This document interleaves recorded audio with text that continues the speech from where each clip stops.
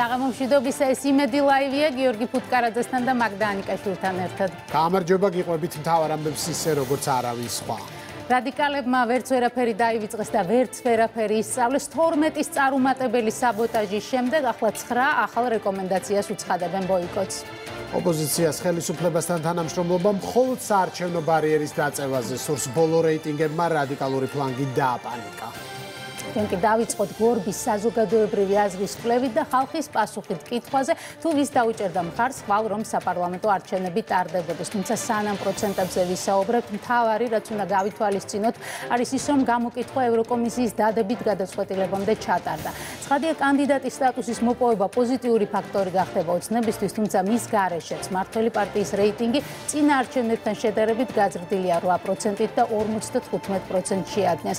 ოცნება სერიოზულად ჩამო გამოირჩევა ნაცმოძრაობას თავისი სტრატეგია ვაშაძით, მათ ერთად 20% აქვს და აქ სრულდება ბარიერის გადალახვის შანსის მქონე პარტიების ჩამონათვალი. დანარჩენების მდგომარეობა მძიმეა, აუთსაიდერები ასე დაწყვილდნენ, გირჩი დროა და ლევო 4-4%, სამ-სამი ევროპული საქართველო და გახარიას პარტია, ორ-ორი პატრიოტ ალიანსი და ლეიბორისტები თითო-თითო პროცენტი გირჩს და მოქალაქეებს. ოპოზიციამ არასასურველი რეალობის მიუღებლობა სწრაფად დააფიქსირა ტელეკამერების წინ, კვლევის მიმართ უნდობლობის გამოცხადება გამოცხადება ახლა მათი წარუმატებლობის ერთადერთი გამართლებაა. ხალხის მხარდაჭერა ვერ ექნება რადიკალების დესტრუქციულ და დეზინფორმაციაზე აგებულ პოლიტიკას, ამომრჩეველ სურს მშვიდობა და კეთილდღეობა მიაჩნიათ ქართული ოცნების ლიდერებს შესაბამისად ეს წინასაარჩევნო უშანსობაც ოპოზიციამ საკუთარ ნამოქმედარს უნდა დააბრალოს. როგორც გითხარით, გორბი მესკვლევა იმედის დაკვეთით ევროკომისიის გადაწყვეტილებამდე 30 სექტემბრიდან 20 ოქტომბრის ჩათვლით ჩაატარა პირისპირ ინტერვიუს მეთოდით 2024 რესპონდენტი გამოიკითხა მთელ ქვეყანაში შემთხვევითი შერჩევის წესით და ცნობილების ზღვარი 2.2%-ია. რეიტინგით შოკირებულმა რადიკალურმა პარტიებმა ახალი კამპანია წამოიწყეს საარჩევნო ბარიერის 5-დან 2%-ამდე დაწევაზე. 5%-იანი ბარიერის გადალახვის შანსი ამ ეტაპზე არსებული მონაცემებით ოცნების გარდა მხოლოდ ნაცმოძრაობას აქვს. საუკეთესო შემთხვევაში 2024 წელს შესაძლოა კიდევ ერთი რომელიმე პარტია მოხდეს პარლამენტში, თუმცა ჯერ ამის პერსპექტივაც კი არ ჩანს. მისია მეტი რადიკალის საკანონმდებლო კანონმდებლო ორგანოში მხოლოდ იმ შემთხვევაში განხორციელდება თუ კი ხელისუფლება ბარიერს დაწევს. ოპოზიცია მხავს ეჩაჭიდება სადა და ირაკლი კობახიძეს შარშან ზაფხულზე გაკეთებული განცხადება შეახსენა, სადაც ოცნების ლიდერი ამბობს, რომ თუ კი 2022 წლის დეკემბერში სტატუსს მივიღებდით, ხელისუფლება ბარიერს დაწევდა. დღეს კობახიძე ოპონენტებს უპასუხა, რომ კალენდარზე 2023 წელია და დაპირება იმ შემთხვევაში იმოქმედებდა, თუ კი ქვეყანა კანდიდატის სტატუსს 1 წლის წინ მიიღებდა. ამის ნაცვლად ოპოზიციამ ყველაფერი გააკეთა რომ სტატუსი ჩავარდნილი იყო. ლელო გირჩი გახარია და ასე შემდეგ არც ერთი პოლიტიკური პარტია არ არის სინამდვილეში ესენი არიან რამდენიმე ადამიანისგან შემდგარი კლუბები თქვა კობახიძემ. შიში რომ რადიკალთა ნაწილი პარლამენტის გარეთ დარჩება, ასეთი რეალური არასოდეს ყოფილა. ამიტომაც ახლა ოპოზიციურ პარტიებს ორი შანსი აქვს ან ნაცმოძრაობას უკვე ფორმალურადაც შეუერთდნენ, ან ახალი ცენტრი გააკეთონ და რამდენიმე წარმომადგენელი მაინც გაიყვანონ. ფაქტი ერთია პარტიები რომელთაც ხელისუფლების ცვლილებაზე აქვს პრეტენზია ყველა მონაცემით ხმების 5%-აც ვერ იღებენ საკუთარ შეცდომებზე სწავლას გადაჩეული ოპოზიცია ჩაკეტილ ანტიევროპულ წრეზე სიარულს განაგრძობს. მათი საბოტაჟის ობიექტი ახლა ევროკომისიის 9 რეკომენდაცია ამასთან არ ავიწყდებათ კარგ და ცუდ რადიკალებად დაყოფის ტაქტიკის გამოყენება. პარტიების ნაწილი ევროპული დავალების შესასრულებლად სასწრაფოდ სამუშაო ჯგუფების შექმნას ითხოვს. თან ამტკიცებენ რომ გამოსწორდნენ და ახლა მზად არიან ევროინტეგრაციის პროცესში საკუთარი წვლილი შეიტანონ. ზოგი ძველ ძველ ცოდვებსაც ინანიებს ხატია დეკანოიძე რომელიც რომელიც ბოიკოტის ავანგარდში მყოფ ფრაქცია ნაციონალურ მოძრაობას ხელმძღვანელობდა, ახლა ამბობს, რომ დემარში შეცდომა იყო. მოჩვენებით კონსტრუქციულობას ოპოზიციის მეორე ნაწილი უპირისპირდება ნაციონალების და სტრატეგიის დუეტმა საბოტაჟის ერთგულების ფიცი განაახლა ევროკომისიის ავტორიტეტს ხადია არ აღიარებენ და ამტკიცებენ არც 12 შესრულდა, არც 9 შესრულდება, ყოველ შემთხვევაში პროცესში ჩვენი მონაწილეობის იმედი არავის კონდესო. ქართულ ცნებაში კარგად აცნობიერებენ, რომ ევროპისკენ სვლა მარტო მოუწევთ სამუშაო სამუშაო და სადისკუსიო ფორმატი ბევრი იქნება, მაგრამ რადიკალები პოლიტიკურ სტილს არ შეცვლიან მართველი გუნდი ოპონენტებისგან მხოლოდ ხელის შეშლას ელის.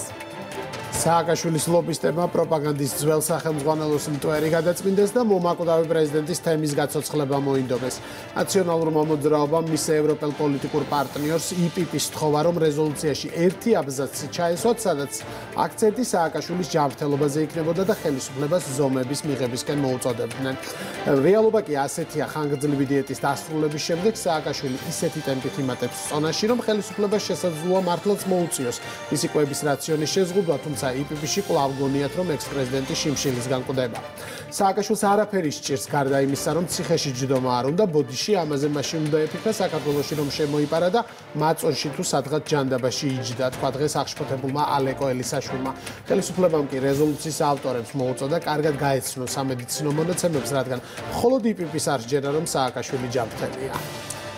ამასობაში საშინაო ფრონტი გაუნწავდათ ნაციონალებს, რადიკალებში ხელმოწერების ბუმია, ცალკე გროვდება ავტოგრაფები კეზერაშვილი მერაბიშვილის არაფორმალური მართლობის დასასრულებლად, ცალკე ვივამედის манифестის უთავსაყოფად, მელია მხარდამჭერებს უზურპატორი ოლიგარქის კლანის დემონტაჟს პირდება, პარტიის მოქმედი მენეჯმენტი კი სეპარატისტებს მსჯავრდებული ბელადის მორჩილებისკენ მოუწოდებს. კულმინაცია 23 ნოემბრისთვის იგეგმება.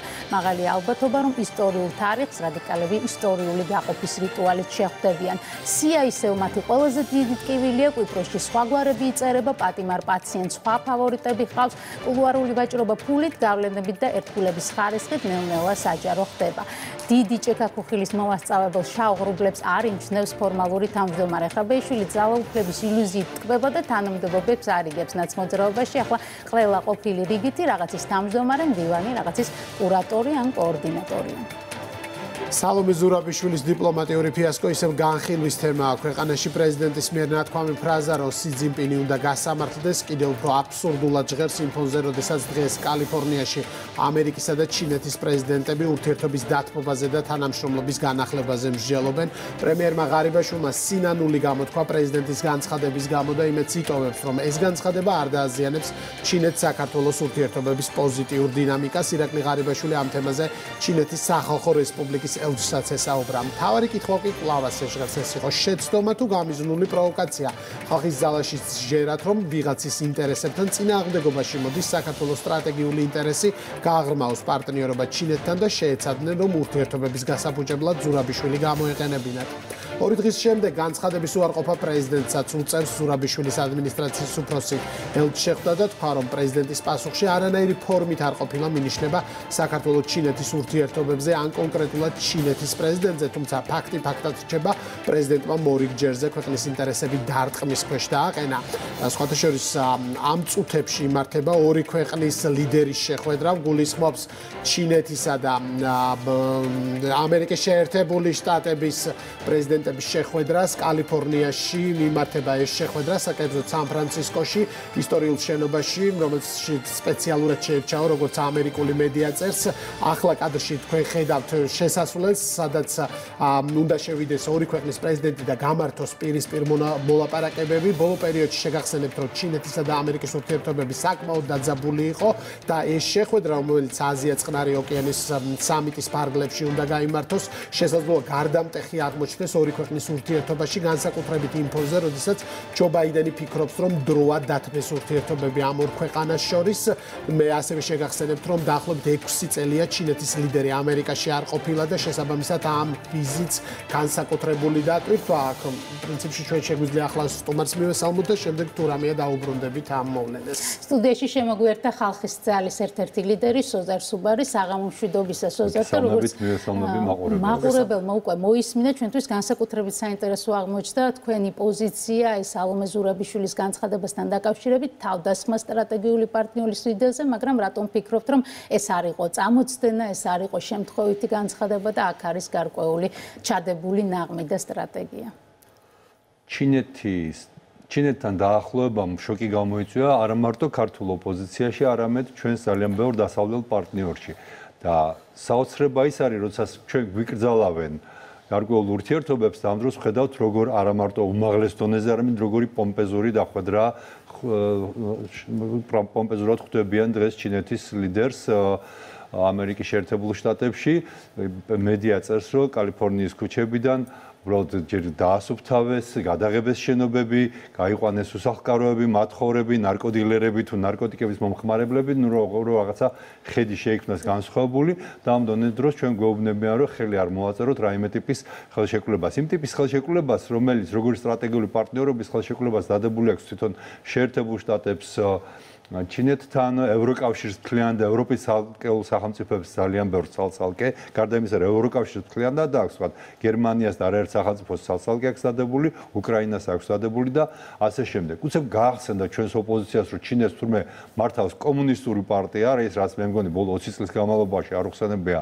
არავის უცებ გაახსენდა ერთბაშად ყველა ოპოზიციონერ ლიდერს და იძახია რომ როგორ შეიძლება კომუნისტურ ჩინეთთან ხელშეკრულების დადება და ის რო წამოწდენა არ იყო სალომე ზურაბიშვილის ეს განცხადება და შეგნებული მავნებლობა იყო და ქვეყნის ინტერესების წინააღმდეგ მიმართული რომელიც დარწმუნებული ვარ მისგან არ მოდიოდა ეს დადასტურდა თუნდაც დღეს როდესაც ქალბატონი ელჩი ამერიკის ახალი ელჩი ქალბატონი რობინ დანიგანი რომელმაც გარკვეულწილად მართლა გადატვირთვა მოახდინა თითქოს ჩვენს ურთიერთობებში წინაელჩისგან განსხვავებით მაგრამ უცებ დღეს მაინც მანდაც თქვა რომ ჩვენ რო არ მიესალმებიან ამ ურთიერთობებს იმიტომ რომ სახეზეა რუსეთის და ჩინეთის დაახლოება და ეს არგუმენტი არ არის თქვენთვის საყურადღებო რუსეთის და ჩინეთის დაახლოება მარტო საქართველოსთვის არის და არ არის ამერიკის შეერთებული შტატებისთვის. შეერთებულ შტატებსაც პრინციპში აწუხებს ეს საკითხი და ალბათ ამაზე იქნება საუბარი, მაგრამ პრეზიდენტის თემას რო დავუბრუნდეთ, პრეზიდენტის წარმომადგენელი შეხვდა ელჩს, აუხსნა რომ კითხვა, რომელიც ფორმულირებული იყო ჟურნალისტის მიერ, დაეხებოდა პუტინსა და სი ძინპინს, პასუხი პრეზიდენტის პასუხი შეეხებოდა მხოლოდ რუსეთის პრეზიდენტს. ეს არ არის დამაჯერებელი თქვენთვის? აა, როდესაც თვითონ და მისი მასშტაბის წევრები თუ ვინც არიან, ახლა მომხრეები არ აყავს, მაგრამ რაც ქვია, აპარატის წევრები ამბობენ, რომ მას ასეთი გამოცდილება აქვს და ჩვენც ვიცით ხო, რომ ძალიან დიდი ხანი უმუშავია საგარეო საქმეთა სამინისტროში საფრანგეთის და გარკვეული დიპლომატიური გამოცდილება მას ნამდვილად აქვს. ასე შეცდომას არ უნდა დაუშვებდეს და არც დაუშვებდა.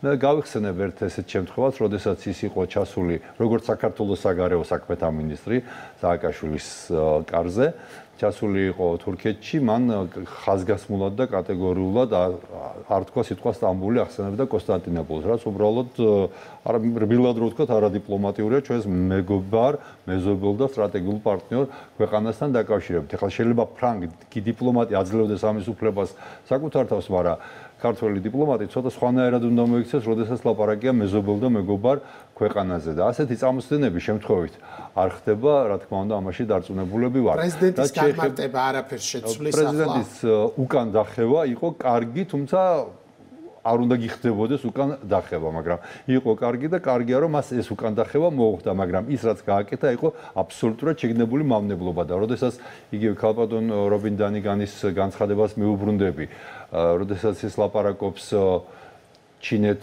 რუსეთის დაახლოებაზე და თან იმ კონტექსტში ამბობს რომ ამ დროს რუსეთს ოკუპირებული აქვს საქართველოს ტერიტორიები ჩვენ უნდა გავიხსენოთ ა რამდენიმე თვის წინ გაკეთებული განცხადება ჩინეთის ელჩის საქართველოსში რომელმაც პირდაპირ ხარდაჭერა გამოთქვა საქართველოს ტერიტორიული მთლიანობის მიმართ და რომ ჩინეთი ყველაფერს გააკეთებს. და სწორედ ეს დაახლოება კარგია, ცუდი ამაზე მოდი მე აღარ ვიმსჯელებ, მაგრამ სწორედ იმ ურთიერთობის გამო, რაც ამ ქვეყანას შორის არის, ჩინეთ შეუძლია თავისი პოზიტიური როლის შესრულება და დაწყვეტილი ვარ შეასრულებს კიდევაც საქართველოს ტერიტორიულ ქლიანობისკენ მიმავალ გზაზე და ნაბიჯებზე. რა შეიძლება იყოს შეერთებული შტატების შეშფოთების ან გაღიზიანების მიზეზი? რა განაცხადია საქართველოს მხრიდან ასეთ დიდ და ძლიერ ქვეყანასთან სტრატეგიული პარტნიორობის გაფორმება? რა შესაძლებლობებს იძლევა? რატომ უნდა აღიზიანებდეს ეს ჩვენ დასავლელ პარტნიორს? შეიძლება ზოგი რამე დიდ პოლიტიკაში გაუგებრად გოჩვენებოდეს, მაგრამ თლიანობაში ძალიან სამწუხარო ის არის, როდესაც მართლა ყოველთვის, მაგრამ განსაკუთრებით იმ ეტაპზე, როდესაც სოფლიოს ახალი წესრიგის ჩამოყალიბება ხდება, სოფლიოს ხელახალ გადანაწილებაზე ალაპარაკი, დიდი მოთამაშეები პატარა ქვეყნებს პრაქტიკულად დიდ საჭადრაკო დაფაზე ჭადრაკის ფიგურებად განიხილავენ და ეხლა ეს მარტო საქართველოს არ არის ამ ესეთი, უბრალოდ უკრაინასთან დაკავშირებით რამდენიმე დღის წინ პენტაგონში გაკეთებულ ოფიციალურ განცხადებას გავიხსენებ რომ ძალიან მნიშვნელოვანია ის, რასაც აკეთებს დღეს უკრაინა, ის ომი რუსეთის წინააღმდეგ, იმიტომ რომ ამითი ჯერ ერთი რუსეთის აგრესია ვეღარ გადავა სხვა ქვეყნებზე, მეორე ამითი შეერთებულ შტატებში თავდაცვითი მრეწველობის დარგები აღორძინდება და ბიუჯეტში დიდი შემოსავლებია და მესამე ათასობით მაღალკვალიფიციური სამუშაო ადგილი იქმნება. ანუ თქვათ დიდი მოთამაშე შეებისთვის ის რომ ათასობით კვალიფიციური მაღალკვალიფიციური სამუშაო ადგილი იქმნება, არის უფრო მნიშვნელოვანი ვიდრე იქ რომ 100.000ობით ადამიანი კვდება და ქალაქები, სოფლები და მხარეები ნადგურდება და შეიძლება ყველაზე მინიმალურია, მაგრამ მინიმუმ 50-100 წელი დასჭირდება ალბათ რომ განინაღმოს ის ტერიტორიები რომლებიც დანაღმულია და რამდენი ადამიანი მთელი ცხოვრება დარჩება შეზღუდული შესაძლებლობის და ფსიქიკური პრობლემებით ამაზე აღარ ფიქრობენ. ამ დიდ პოლიტიკაში რა როლი შეიძლება რა რა რატო უნდა თქვა მაინც ესეთი რამ ასეც რო ფიქრობდე რატო უნდა თქვა ხო? უბრალოდ როგორც ჩანს ჩემი აზრია, მაგრამ შიდა პოლიტიკაში ამ შემთხვევაში დიდ ქვეყნებში, იგივე შეერთებულ შტატებში, არც საარჩევნო თემატიკა იმდენად მნიშვნელოვანია, რომ ნაკლებად აწუხებთ რას იფიქრებენ ამაზე უკრაინელებიან, ქართველები, ისინი თავის ხალხს ეუბნებიან, რომ კარგ საქმეს ვაკეთებ და რატო გტკივათ იქ რაც ხდება იმაზე გული. და ასეთ როცა უყურებენ, ახაც ამერიკისთვის მნიშვნელოვანია, რომ ჩინეთი როგორც მისი სტრატეგიული მოწინააღმდეგეა და ამ შემთხვევაში სწორედ ჩინეთია სტრატეგიული მოწინააღმდეგე ამას ყველა პოლიტიკური ამერიკელი პოლიტიკოსი და ანალიტიკოსები ამბობენ და არა რუსეთი გრძელვადიანში სწორედ ჩინეთია. სწორედ ჩინეთის გაძლიერებისთვის ხელი შეშლა არის მნიშვნელოვანი და ნებისმიერი მსგავსი ხელშეკრულება ნებისმიერი ახალი სავაჭრო გზა რომელიც თქვათ ჩინურ საქონელს უხსნის გზას საერთაშორისო ბაზრებზე თქვა უფრო იაფადან უფრო მოკლედ. ნუ არ მოსწონთ იმათ ვისთვისაც ეს არ არის სასურველი ვისაც მიაჩნია ჩინეთი სტრატეგიულ მოწინააღმდეგედ. და ამავე კონტექსტში ბარემ ამასაც დავამთავრებ კიდე ერთ ფაქტს გავიხსენებ.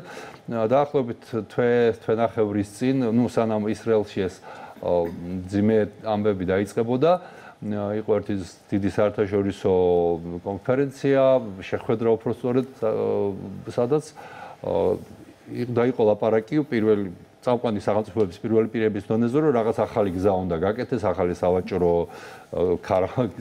გზატკეცილი ეს არის ინდოეთი, არაბული ქვეყნები, ისრაელი და ევროპა. და ქართულმა ოპოზიციამ ატეხა ხმაური რომ ჩინეთთან არ შეიძლება საქართველოს კონდეს სავაჭრო გზა იმიტომ რომ ამით ხელს უშლით შეერთებული შტატების ინტერესებს, რომელსაც იმ გზის გაკეთება უნდა, ესე იგი შეერთებული შტატების თუ ევროპის ინტერესი უნდა იყოს პირველი ჩვენთვის არა ჩვენი ინტერესი, იმიტომ რომ ჩინური საქონელი, რომელიც მიდის ევროპაში, იმის 5% რო გავიდეს საქართველოსზე, საქართველოს ეკონომიკაზე ძალიანად ეყო. ხედავთ ზარ, უნდა შეგაწყვეტინოთ, ჩვენ ხედავთ ორი ქვეყნის ლიდერის შეხვედრას, მართლაც ისტორიული მომენტია, ისინი შედიან შენობაში, იმისთვის რომ გამართონ მოლაპარაკებები, ყველაზე საინტერესო ამ აქ არის რომ განხილული იქნება კონფლიქტები მათ შორის ტაივანის თემა, სავაჭრო ურთიერთობები და მედია საუბრობდა იმაზე, რომ ხელოვნური ინტელექტის თემაც კი იყო.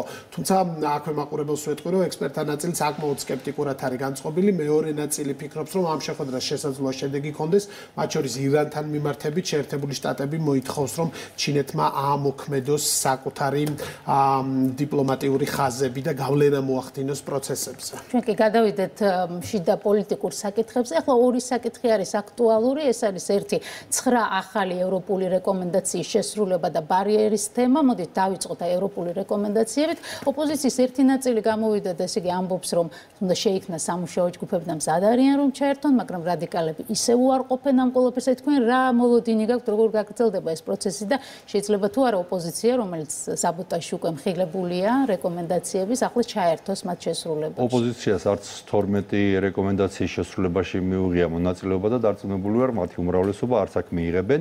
ასზე მეტი კანონი იქნა მიღებული ევროპული ევროკავშირ რის მოთხოვნების შესაბამისად, აი ამ 12 რეკომენდაციის ფარგლებში 100-ზე მეტი კანონი და არც ერთ მათგანზე რადიკალური ოპოზიციის უმრავლესობის ხმა არ ფიქსირდება. არ მიუწიათ, მაგრამ რამდენიმე გამონაკლისის გარდა პიროვნული გამონაკლისებიან ერთი-ორი პარტია მაშინ როდესაც ეს ყველაფერი გააკეთა სწორედ საპარლამენტო უმრავლესობამ და ერთი-ორი ოპოზიციური პარტია იყო, რომლებიც მონაწილეობდნენ ძალიან აქტიურად სხვათა შორის. ასზე მეტი კანონი ეს ცოტა რო არ არის მოგეხსენებათ და რაც შეეხება ამ 9 რეკომენდაციას, ამ 9 რეკომენდაციის შემდეგ არის კიდე უზარმაზარი სამუშაო, იმიტომ რომ ევროკავშირთან საბოლოო ევროკავშირის წევრად გახდომას ჭირდება ამ წუთში რაც გამოცდილება არის 6 დიდი პაკეტი, რომელიც 36 ქვეპა პუნქტად არის ჩაშლილი და ერთხელ კიდევ რომ ვამხილოთ ნაციონალური მოძრაობის სიცრუე, რომ თითქოს ისინი ევროპისკენ მიისწრაბოდნენ, არა მარტო ადამიანის უფლებებში კატასტროფული მდგომარეობით და ავტორიტარიზმით იყვნენ ისინი აბსოლუტურად შორს ევროპისგან, არამედ თითოეული ამ 36 პუნქტიდან ნახევარი მაინც არის ისეთი, რომელზეც პირდაპირ ამბობდნენ, რომ ეს მათთვის მიუღებელია, მაგალითად შრომის უფლებები, რომლებიც ქვეყანაში გაუქმებული ჰქონდათ, მაგალითად მომხმარებელთა უფლებები, რომლებიც ქვეყანაში გაუქმებული ჰქონდათ, მაგალითად სასურსათო უსაფრთხოება, სამშენებლო უსაფრთხოება, თვით სოფლიოში ერთადერთი ქვეყანა ვიყავით, სადაც მანქანების ავტოტექდათვალიერებაც კი გააუქმეს და მართლაც ამდენი წელია. ახლა ნაცმოძრაობას საუბრობს, რომ არანაირი მნიშვნელობა არ აქვს კანდიდატის სტატუს. თუ ხელისუფლებაში დარჩება ქართული ოცნება 2024 წელს, ამ შემთხვევაში არაფერი არ შეიცვლება და ეს კანდიდატის სტატუსი დარჩება ფურცელზე მიღებულ გადაწყვეტილებადო. თქვენ რა პასუხი გაქვთ მანამდე სანამ პასუხს გამცემთ, მანამდე ვეთქვი მაყურებელს კიდევ ერთხელ, რომ ჩვენ პირდაპირ ეთერის რეჟიმში ვადევნებთ თვალყურს ორი ქვეყნის ჩინეთისა და შეერთებული შტატების ლიდერების ლიდერების შეხვედრას, რომელიც ახლა იწყება და შესაბამისად მთელი მსოფლიოს მედია მას დიდი მოლოდინით ელის, ჩვენ რამდენიმე წუთში კლავ დაუბრუნდებით ამ თემას. ოპოზიცია აქამდე ამბობდა, რომ სანამ არსებობს სანამ საქართველოს ხელისუფლებაში არის ქართული ოცნება და სანამ საქართველოს ხელისუფლებაში არის როგორც ისინი ამბობდნენ ბიზინა ივანიშვილის რეჟიმი, მანამდე საქართველოს არავინ არ აღირსებს ევროპასთან ასოცირებას კი არა, რაც ქვია კანდიდატის სტატუს, მაგრამ როგორც ეს ჩაუვარდათ კოვზინაცალში, ის ჩაუვარდებათ კოვზინაცალში იმ შემდგომ მათ გეგმებში. ყველაფერს აკეთებდნენ, რომ არ მიიღო საქართველოს კანდიდატის სტატუსი, ამასში ამხელ ამ ისი ამაში ისინი ამხილეს მათმა ოპოზიციონერმა კოლეგებმაც, კონკრეტულად გახსოვთ ხათუნა სამნიძემ თქვა, დეკანოიძემ თქვა, და ბროდ გვარები არ დაასახელეს, მაგრამ ეს გვარები ჩვენ ყველამ ძალიან კარგად ვიცით, ვინც იყო. ასე რომ იგივე იქნება მომავალშიც, თუმცა აქ კიდევ ერთი თემა ჩდება, იგივე სამოქალაქო სექტორის NGO-ების მონაწილეობა, NGO-ები, რომლებიც დგანან ერთ დღეს ტრიბუნაზე და ითხოვენ რომ ხელისუფლება უნდა გადადგეს და ტექნიკური მთავრობა უნდა შექმნას რომ მათი მონაწილეობით როგორ მიიღებენ აი ამ რეკომენდაციებში მონაწილეობას ამ მუშაობაში რეკომენდაციების შესრულებაში ესეც ძალიან საეჭვო ბუნებრივია. არჩევნებთან დაკავშირებულ რეკომენდაციაში ოპოზიცია ხედავს და კითხულობს ბარიერის დაწევის რეკომენდაციასაც. ისინი ამბობენ რომ სამართლიანში სწორედ ეს იგულისხმება რომ იყოს დაბალი ბარიერი და ნაკლები მხარდაჭერის მქონე პარტიებს მიეცეს შესაძლებლობა რომ მოხვდნენ პარლამენტში. რას ფიქრობთ ამაზე პირველი, ვინც მიიღო ამ წუთას ჩვენზე ერთი წლით ადრე უკრაინამ და მოლდოვამ, მათ აქვს 5%-იანი ბარიერი. და თუ მათი მაგალითი ჩვენთვის მისაღებია, კი არა, სულ მათი მაგალითი მოხყავთ ხოლმე, მაშინ ამაში მიუბაძოთ. ან მეორე იმაში მიუბაძოთ და მე ჩვენ ამ საკითხს ხალხის ძალა ვაყენებთ კატეგორიულად, რომ როგორც აკრძალეს პოლიტიკური ძალა, რომელიც ანტისახელმწიფოებრივად მიაჩნდათ მოლდოვაში შორი და არაერთი პოლიტიკური პარტია აკრძალეს უკრაინაში, მაგრამ უკრაინის მაგალითი არ მომყავს, იმიტომ რომ იქ ომია და სხვა ვითარება, ისე ჩვენ შევისწავლოთ იმ ანტისახელმწიფოებრივი ძალების მოღვაწეობა და შესაბამისი გადაწყვეტილებაც მივიღოთ. თუ მაინც და მაინც აქ მიუბაძოთ მაშინ, რაც შეეხება ბარიერის თემას, ორად უნდა გავყოთ საკითხი. პირველი, ევროპის აბსოლუტურ უმრავლეს ქვეყნებში არის 5%-იანი. აბსოლუტურ უმრავლესობაში კი არა, მხოლოდ 4 ქვეყანაა, რომელიც 5%-ზე დაბალია, სადაც 5%-ზე დაბალია ბარიერი, ეს არის ქვეყნის სტაბილურობისათვის და მართლა დემოკრატიული სტაბილურობისათვის, კონსოლიდირებული დემოკრატიული მართლობისთვის არის აუცილებელი ეს ბარიერი და ზოგადად პარტიები უნდა მოერგონ ხალხის განწყობებს პარტიებმა უნდა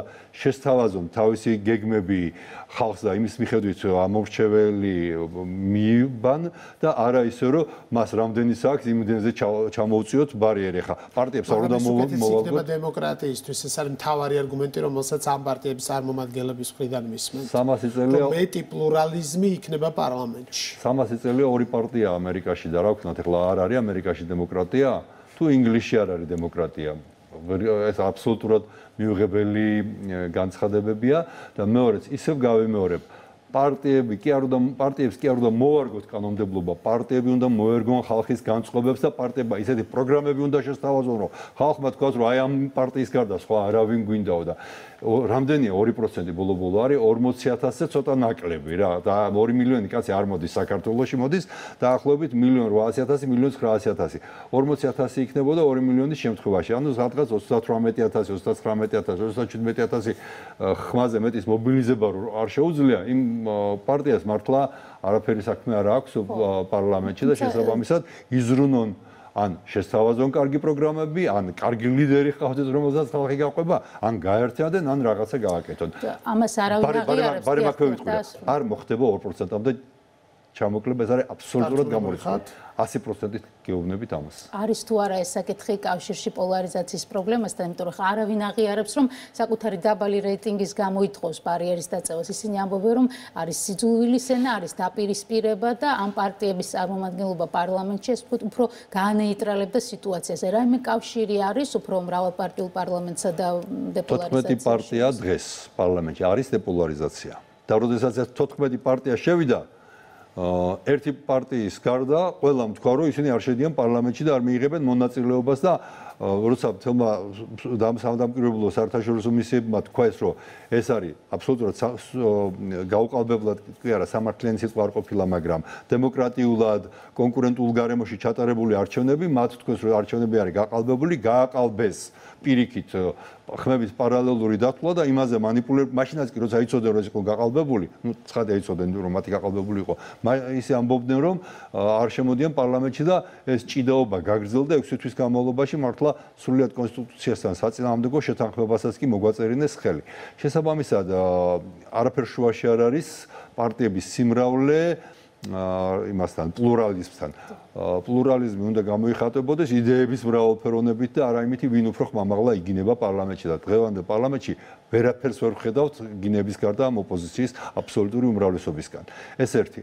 და მეორე სიზულული სენასაც შეეხება თავაზობთ ყოველჯერზე რომ გადმოვიღოთ ევროპული კანონმდებლობა რომელიც აკრძალავს სიზულული სენას და იქნება ამაზე სანქცია. ეს არ უნდათ და აბასიზულის ენას მაშინ როგორ ებრძვიან, რანაირად ებრძვიან. ან თუნდაც ახლა დღეს აბასიზულის ენა თუ ისინი პარლამენტში ვერ მოხდებიან ხომ აი ზარჩება. აკლები ასპარეზი იქნება და არ ამგონია მე ჟურნალისტები ინტერესდებოდნენ 9%-იანი პარტიების ლიდერების რაღაც განცხადებებით, ისე როგორც ეს ხდება მათი პარლამენტში ყოფნის დროს და პარლამენტში უნდა იყოს არა ლანძღვაგინების ადგილი, არა და ერთმანეთის შეურაცხყოფის არამედ იდეების წარმოჩენის ადგილი. თქვენ აღწერეთ სურათი, რომელიც გქონდა 2020-ის არჩევნების შემდეგ, პარლამენტის ბოიკოტი და ასე შემდეგ. ელოდებით თუ არა 2024-ში იგივე სცენარით განმეორდება პროცესი, იმიტომ რომ უკვე არის საუბარი იმაზე, რომ მაგალითად ელექტრონული არჩევნები ეს არის გაყალბების ინსტრუმენტი.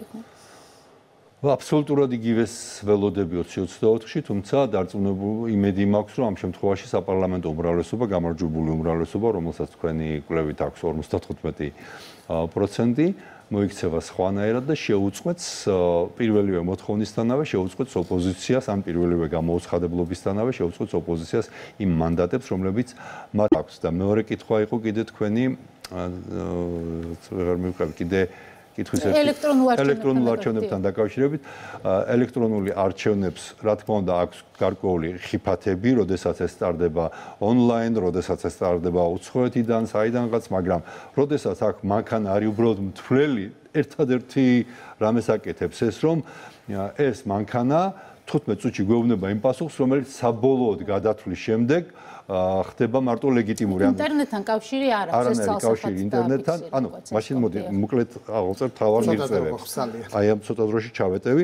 პირველი, მანქანა ითვლის ძალიან სწრაფად, ეს არის უპირველეს ყოვლისა, 15 წუთში გვეცოდინება პასუხი, ეს არ არის საბოლოო შედეგი, საბოლოო შედეგი იქნება მხოლოდ მაშინ, როდესაც აა ქაღალდზე გადაეთვლიან კომისიის წევრები და კომისიის წევრები ისევ ის სხვადასხვა პარტიების წარმომადგენლები არიან, მაგრამ აღარ რჩება სპეკულაციებისთვის, რომ იმიტომ რომ 15 წუთში უკვე არის დათვლილი.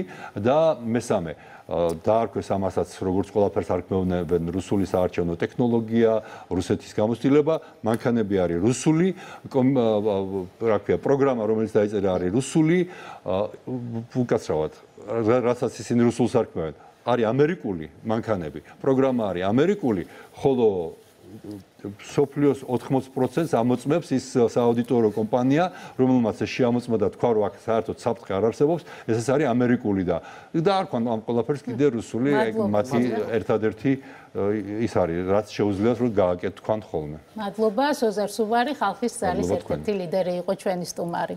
კი ბატონო, ჩვენ გავაგზავნებთ ეთერს ახლა კლავ სანამ შემდეგი სტუმარი შემოგვიერთება პირდაპირ ეთერში უნდა გაჩვენოთ სან-ფრანცისკოში მიმდინარე შეხვედრა, სადაც ორი ქვეყნის ლიდერი, შეერთებული შტატების პრეზიდენტი ჯო ბაიდენი და ჩინეთის პრეზიდენტი სი ძინპინი ერთმანეთს ხვდებიან. ეს არის ისტორიული შეხვედრა, განსაკუთრებით ბოლო დროს ორ ქვეყანას შორის არსებული დაძაბულობის ფონზე, განსაკუთრებით მაღალი ინტერესია მედიის და მთელი მსოფლიოსი ამ შეხვედრის მიმართ, რომელიც დაიწყო რამდენიმე წუთის წინ, თავარი განსაკუთრებით შესახელველი საკითხები, როგორც წინასწარ ანოცდებოდა, იქნებოდა კონფლიქტების საკითხი, მათ შორის ტაივანის საკითხი, მათ შორის რუსეთ-უკრაინის ომი, ჰამას-ისრაელის ომი, ამ საკითხებში როგორც წესი ამ ორ დიდ ქვეყანას აქვს აბსოლუტურად განსხვავებული პოზიციები. შესაბამისად, ექსპერტების ნაწილი სწორედ ამიტომაც скеპტიციზმით უყურებდა ამ პრობლემას, მაგრამ ნახოთ რა შედეგები დაიდება, განსაკუთრებით იმ ფონზე, როდესაც ამ შეხვედრამდე შეერთებული შტატების პრეზიდენტმა გააკეთა განცხადება მედიასთან რომ ერთგვარი გადატვირთვის პოლიტიკასაც კი შესთავაზებდა. ორი ქვეყნის ურთიერთობებში რათა ეს ურთიერთობები უფრო მეტად აღარ დაძაბულიყო.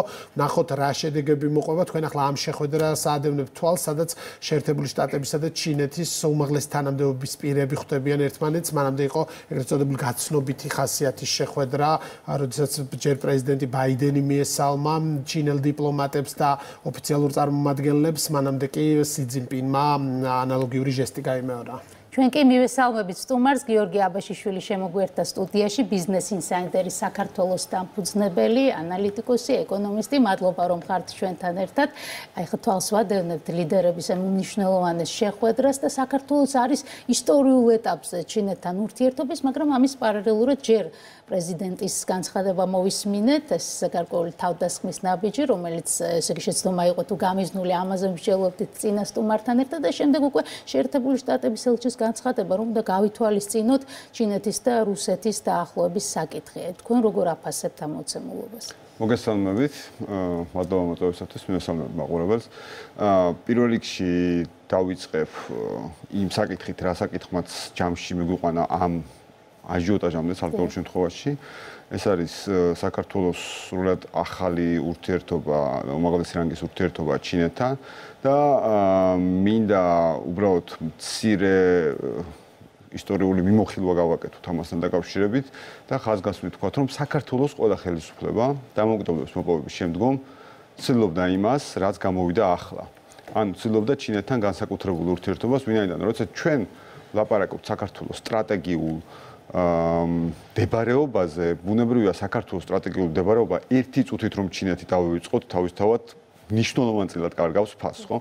ჩვენი სტრატეგიული დებარეობის მთელი არსი მდგომარეობს სწორედ ამ ეგრეთ წოდებული აბრეშუმის გზის მიმართულებაზე, როცა საქართველოს უნდა დააკავშიროს აზია და ევროპა ერთმანეთთან, ბუნებრივია და აქ ჩინეთს როლია პირველ რიგში განუზომელი ამ მიმართულებით და არა სხვა რომელიმე ქვეყნის. რა თქმა უნდა, სხვა ქვეყნებსაც მნიშვნელობა აქვს, მაგრამ თუ ჩვენ ავიღებთ რანგობრივად, ამ ნაწილს ცხადია ჩინეთი. ჩინეთთან დაკავშირებით ჩვენ ყოველთვის მუშაობდით პროაქტიულად. ვიყავით პროაქტიულები და გვინდოდა რომ ჩინეთსაც დავენახეთ. მე უბრალოდ ერთი რამე მინდა აი გავიხსენო ძალიან მნიშვნელოვანი დეტალი. 2013 წელს, როდესაც ჩინეთმა პირველად დაანონსა ერთ სარტყელი ერთი გზის ინიციატივა Belt and Road, BRI ეგრეთ წოდებული, ყაზახეთში, ყაზახეთის პრეზიდენტთან შეხვედრაზე, საქართველოს პირველ რუკებზე საერთოდ ვერ მოხვდა. ანუ საქართველოს საერთოდ არ იყო ის, რასაც ჩვენ მომაყობდით და ისტორიულად უამრავი ფაქტი მოქონდა, რომ აი საქართველოს არის აბრეშუმი პირველ რუკებზე საქართველოს საერთოდ არ იყო. სწორედ ხელისუფლების ძალისხმევის შემდგომ 2015 წელს ნელ-ნელა ჩდება საქართველოს BRI-ის რუკებზე. ანუ ამ პერიოდიდან და სხვა შორის უკვე მაშინ საქართველოსში ჩინური ჩინელი ინვესტორების საკმაოდ აქტიური ჩართულობით მოხერხდა რომ პირველი ჯგუფი რომელიც წამოვიდა ზუსტად ამ მარშრუტის გამეორებას მოხერხდა რომ როგორღაც საქართველოს შემოგოყანა. და მაშინ ხელისუფლებაში ვიყავი და მახსოვს ეს ძალისხმევა რამდენად დიდი იყო რომ ეს მოხდა. ამის შემდგომ იყო სწორედ აბრეშუმის გზის პირველი ფორუმი ორგანიზებული უკვე საქართველოს ხელისუფლებასთან, სადაც საბოლოოდ ჩვენ დავაფიქსირეთ, რომ დიახ ჩვენ ვიყავით ამ გზის ნაწილი. და და მე სწორედ აი ხელისუფლებაში და დავასრულე ჩემი საქმიანობა გაეროს ეროვნულ კონსულტანტად დავიწყე მუშაობა საქართველოში და იმ პერიოდის განმავლობაში მუშაობდი სწორედ ჩინეთში. სწორედ ერთ სარტყელი ერთი გზის ინიციატივის მონიტორინგზე საქართველოს მხრიდან და მე მახსოვს და ნანახი მაქვს პირველი რუკებიც და მახსოვს რამდენად ძლიერი იყო ძალისხმევა შემდგომში რომ ეს დაფიქსირებული იყო მათ შორის ეს იდეაში ყველა პოლიტიკოსმა რომელსაც პრეტენზია აქვს რომ ეთნაკლებად ერკვევა პოლიტიკაში და ერკვევა ქვეყნისთვის სასიკეთო საქმეებში უნდა იცოდეს. პლუს უნდა იცოდეს ის რომ დღეს რაც ხდება რა შეხვედრასაც ახლა ჩვენ თვალყურს ვადევნებთ არის უმნიშვნელოვანესი და შესაძლოა აღმოჩნდეს გარდამტეხი. მით უმეტეს იმფოზე რომ შეერთებულ შტატებს აქვს პოზიცია რომ ურთიერთობები უნდა გადაიტვირთოს იყოს და მეტად აღარ უნდა დაიძაბოს. ამ ფონზე, როდესაც ქართველი პოლიტიკოსების ნაწილი აკეთებს განცხადებებს, რომ ეს არის მიუღებელი, იქ პრეზიდენტის განცხადებაც, რომელიც ჩვენ მოვისმინეთ, ეს რა არის პოლიტიკური უვიცობა თუ რამე სხვა? აა საქმე იმაშია, რომ განსაკუთრებით მიგვერს ასეთ ტიპის განცხადებები, როდესაც კეთდება იმ პოლიტიკოსების მხრიდან ან იმ პოლიტიკური ჯგუფების წარმომადგენლების ხვდა რომელიც სულ ცოტა ხნის წინ ამავე ხელისუფლების ნაწილები ნაწილი იყვნენ და მათ შორის თვითონ აქტიურად მუშაობდნენ სწორედ ჩინეთთან სტრატეგიული ურთიერთობა და ზოგადად ურთიერთობის კიდევ უფრო მეტ გაღრმავებას. სწორედ ისინი რომლებიც მათ შორის ერთ სარტყელი ერთ გზის ფორუმზე გამოდიოდნენ სხვა სხვა საინტერესო მოხსენებები, სადაც საუბრობდნენ რომ აუცილებელი იყო ჩინეთთან ურთიერთობა და დღეს ვხედავთ რომ ისინი კითხვის ნიშნებს სვავენ და ძალიან მაინტერესებს რა დროს იყო ეს პრობლემური პრობლემური ნაწილი. ხო და მაინტერესებს მაინტერესებს როდის იყო. საქმე რაშია რომ ჩემი აზრით ჩვენთან ჩვენს ქვეყანაში ძალიან ჭირს წარმატების აღიარებას თქო. იმისთვის რომ წარმატება აღიარო, ნუ მაშინ ოპონენტის წარმატება აღიარო ამ შემთხვევაში ხელისუფლების წარმატებას გულისხმობ, ნუ ბუნებრივია მაშინ რაღაცა კუთხით ამის პოლიტიკური კლასი უნდა გეყოს, ამას თავისი ბუნებრივია, თავისი სტანდარტი აქვს, თავისი კლასი აქვს ბუნებრივია და ნუ როცა ეხა ჩვენ ვაპარაკობთ ამ შეს ოპოზიცია როცა საუბრობთ რაღაც ევროპულ სტანდარტზე, ხო ევროპულ სტანდარტი არ უჭირთ ერთმანეთის წარმატების აღიარება, მწვავე კრიტიკის და კვალიფიციური კრიტიკის ფონზე. კვალიფიციური დისკუსიას წინ არაფერი არ უდგას. უბრალოდ საქმე რა შეეცდ რომ ჩვენთან ხშირად დისკუსია არის დისკუსიის ახლა დისკუსიის ცოდნა თავისი მიმართულება აქვს მეორე დისკუსიის შინაარსის ცოდნა ხო?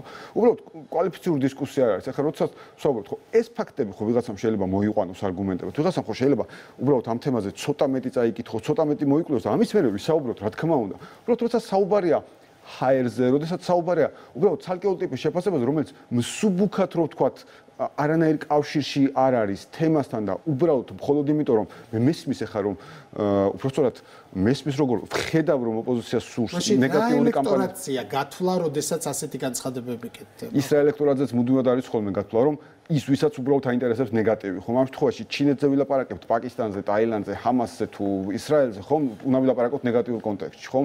ეხლა დამერწმუნეთ რომ საქართველოს რომ დღეს თავისუფალი ვაჭრობის ხელშეკრულება გაეფორმება შეერთებულ შტატებთან და მინდა მიუბრუნდე მე კაბოტონელის განცხადება სამასთან დაკავშირებით. თავისუფალი ვაჭრობის ხელშეკრულება რომ გაეფორმება შეერთებულ შტატებთან აი ზუსტად ეს ადამიანები რომლებიც ეხლა ჩინეთთან აკრიტიკებენ ამ ურთიერთობას რაღაცა ფორმით ამ ნაწილს გააკრიტიკებენ იმიტომ რომ ემახსოვს ოპოზიცია რომელიც ევროკავშირთან თავისუფალი ვაჭრობის ხელშეკრულებას აკრიტიკებდა და აკრიტიკებდა რა მოტივით? ის რომ ევროპული საქონელი წარეკავდა ქართულ ბაზარს. მე მახსოვს ოპოზიცია რომელიც ჩინეთთან თავისუფალ ვაჭრობას აკრიტიკებდა, იმიტომ რომ ჩინური საქონელი წარეკავდა თავისუფალ ქართულ ბაზარს, თუმცა ხე რო წარმოვიდგინოთ ეკონომიკური კუთხით ან ევროკავშირის ან ჩინეთისთვის საქართველოს რა არის, ხო? საქართველოს თავისთავად სტრატეგიული მდებარეობა და ერთმანეთთან რო ივაჭროს ევროკავშირმა და საქართველოს მაგიტო ევროკავშირმა და ჩინეთმა მაგიტო მაინტერესებს საქართველოს და თან აი ამ კრიტიკის ფონზე ყველა საუწყდებოდა რომ ელემენტარულად ჩაეხედა საქართველოს შესაბამის კანონმდებლობაში და ენახა რომ ევროკავშირთან უკვე საქართველოს სამხრეთ ქონდა ფაქტიურად თავისუფალი ვაჭრობის დონის ურთიერთობა, ანუ რაც წასალეკი იყო ბჭალებში, წალეკილი უნდა ყოფილიყო აქამდე, ისევე როგორც ჩინეთთან. იმიტომ რომ საქართველოს თავისთავად ლიბერალური ვაჭრობის პოლიტიკის მქონე ქვეყანაა და ეს კანონმდებლობაც ჰქონდა ასახულთან. არაფერი ამ კუთხით არ იწვებოდა გარდა იმისა, რომ ჩვენ უბრალოდ ამ კომიტ განაცხადს ვაკეთებდით, რომ აი ეს იყო უფრო მეტი და აუცილებლად მინდა შეერთებული შტატების ნაწილს. აი ეს ქცევა, ეს ხომ არის წაგებული თამაში და ძალიან მოკლევადიანი გახდა. შედეგი ხო დადგება ადრე თუ გვეტ, ისე როგორც კანდიდატის სტატუსთან დაკავშირებით შედეგი დადგა და ის რაც აქამდე აკეთა ოპოზიციამ, ხო ეს ყველაფერი გამოაშკარავდა. ნუ ელექტორალური პროცენტული მაჩვენებლები ჩვენ რომ უყურებთ, მე მგონი ოპოზიციის თავარი აა გათვლა არის რაზე რომ ის რა ელექტორატიც არის, ხო 200 თუ 500 თუ 300 თუ რაც არის, როგორმე დავიჭიროთ ეს ელექტორატი. როგორმე რომ ელექტორატი რომელიც ახლა ნუ მესმის ახლა ამ ნაწილისას ბუნებრივია ახლა დემოკრატიული ქვეყანაა, ბევრი ადამიანია და სხვა სხვა ვიღაცა ნეგატივზეა მიდრეკილი, ნუ ხანდახან გარშემო ხდება ხოლმე ჩვენს გარშემო, რომ ვიღაცა აუცილებლად ნეგატივი აინტერესო. ნუ ეს ეს დავიჭიროთ და ეს შევინარჩუნოთ ბუნებრივია და ამ კუთხით ახლა კიდევ ერთხელ რაზე ვილაპარაკებთ? ამ უკვე თავისთავად ამ ამას არს არის. რა შეიძლება შედეგი დგება თუ არა? დიახ, შედეგი დგება. სხვათა შორის ამ პერიოდში აი ამ ბოლო წლებმა, ну ბოლო წლებმა რა 10 წელმა აჩვენა ძალიან საინტერესო რამე, რომ ის რაც და აჩვენა რომ უამრავი დრო იყო დაკარგული ევროკავშირთან ურთიერთობის გაღრმავების მიმართულებით. ამ პერიოდის განმავლობაში ის რაც მართლაც ოცნებად ჩანდა რაღაცა პერიოდის წინ არც თუ დიდი ხნის პირობით 15 წლის წინ რომ ევროკავშირი თურმე შეიძლებოდა ევროკავშირის უვიზოთ შესვლა საქართველოს მოქალაქეებს და მართლა ძალიან დამამცირებელი მე თვითონ დგარ ვარ უამრავჯერ და მე თვითონ მოცნებობდი ამაზე რომ აი როგორ შეიძლება როდის შეიძლება მომხდარიყო ის რომ ვიზის garaშე წავსულიყავი ეს თურმე შესაძლებელი ყოფილა და მოვიდა ეს შედეგი მაგრამ რა მოხდა ამის შემდგომ? ზუსტად როგორც კი მივიღეთ უვიზო მიმოსვლა და მაშინაც იმ პერიოდშიც მახსოვს ძალიან კარგად, იმიტომ რომ ბოლაპარაკებებს არაერთ გზის ყოფილვარ, ამ პერიოდის განმავლობაში ოპოზიცია საუბრობდა ზუსტად იმ ნარატივით, რასაც რუსეთი აკეთებდა ევროკავშირში. რომ ევროკავშირის წევრ ქვეყნებში მუშაობდა რუსული პროპაგანდა აქტიურად მათ შორის პირდაპირ იყო ნაყი ეხა უფრო თამამად შემიძლია ბევრ ფაქტებზე ვისაუბრებთ რომ გარეთ ვარ პირდაპირ იყო ნაყიდი საკმაოდ ავტორიტეტული ევროპული გამოცემების გვერდები სადაც რუსული შეკვეთით იწერებოდა რომ ქართული კრიმინალური ჯგუფი და აი ძალიან საინტერესო იყო რომ იგივე საქაკეთებდნენ წარმატების აღიარება კი აღარ კი მოვიდა წარმატება და ვამბობთ ხო რომ აი რომ იქნება მე რაღაც იტყვია. მე რე იტყვიან ამას? მე რე აკეთებდნენ? პრინციპი რომ რაც უარესი მით უკეთესი ეს მუშაობს ამ შემთხვევაში ოპოზიცია ბუნებრივია რაც უარესი მით უკეთესი არის ეხლა ჩვენ ხო ეს ევროკავშირის ნაწილზე ვნახეთ რა. ევროკავშირის ნაწილზე ხო აი ძალიან სამწუხარო ფაქტი ვნახეთ რომ ის რა ისტორიული მოვლენაც ხდებოდა საქართველოს გარშემო ფაქტიურად ამ პერიოდის განმავლობაში ყველაფერი კეთდებოდა იმის რომ ეს არ მოხდარიყო და მათ შორის ჩემი აზრით ყველაზე როგორ რა ტერმინები ხმარ მაქსიმუმ დიპლომატიურად თქვა აი ყველაზე არა არა სამართლიანი არა სამართლიანი რაც იყო იყო ბოლოს და ბოლოს. ანუ აი ხელჩაქნეულზე ფრაზა იმის რომ აი ქართველი ხალხი იმსახურებს და ხელისუფლება ძალიან დიდი ბუდისტი მაგრამ რაც არ უნდა იყოს როდესაც ასეთი ტიპის გამარჯვებაზე მივდივართ ამ დროს რაიმე ტიპით ამის ნეგატივში გადაყვანა.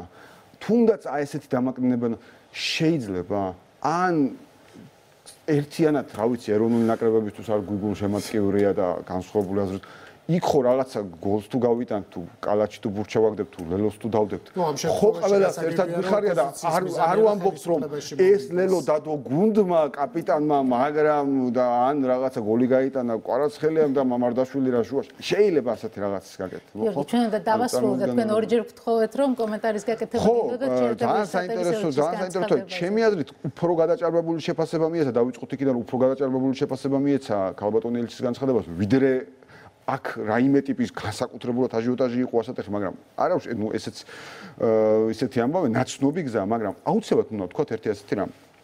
რომ ჯერ ერთი აი ამ ისტორიული შეხვედრის მოწმე ვართ ახლა და ბუნებრივია ასეთ ტიპის განცხადება ამ შეხვედრის მერე ყოფილიყო ალბათ ჯობდა.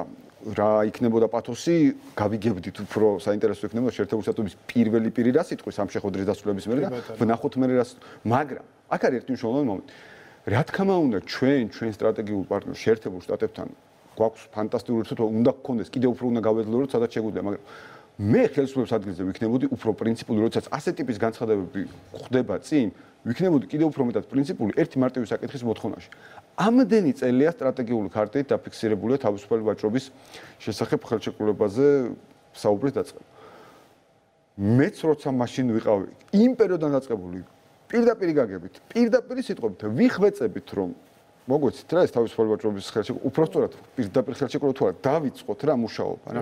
დავიწყოთ რა მუშაობა ამ თემაზე, რომელსაც თავისთავად შეერთებულ შტატებთან თავისუფალი ვაჭრობის ხელშეკრულებას არ ექნება იმდენად ეკონომიკური ეფექტი, რამდენადაც ეს პოლიტიკური ეფექტი, პოლიტიკური ეფექტი უდიდესი პოლიტიკური მდგენელის მატარებელი იქნება. თავისთავად იქნება კიდევ უფრო მეტი მხარდაჭერა რეფორმებში და როდესაც კი ბატონო მოთხოვნა არის რომ ჩინეთთან უნდა ვიყოთ თქვენ გასაგები ჩვენც ვთქვით ჩინეთთან ფრთხილად უნდა ვიყოთ ახლა ჩვენც რას ვაკეთებთ არაფრთხილს და როცა ლაპარაკია განცხადებაზე რომ ჩინეთი რუსეთს უახლოვდება და რუსეთს აღიარებული აქვს საქართველოს ოკუპირებული ტერიტორიები და უდესმე ოსლებად მოუწევს ამ აღიარების განცხადება აქ ერთი მნიშვნელოვანი ნაწილია.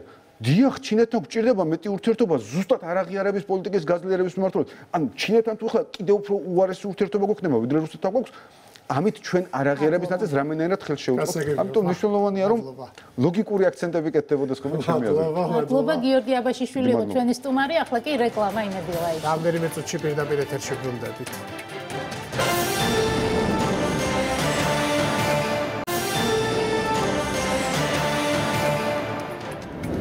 თქვენ იმედი ლაივს უყურებთ ხვალ 23 საათზე დაგიბრუნდებით პირდაპირ ეთერში. მადლობა რომ გვიყურებთ.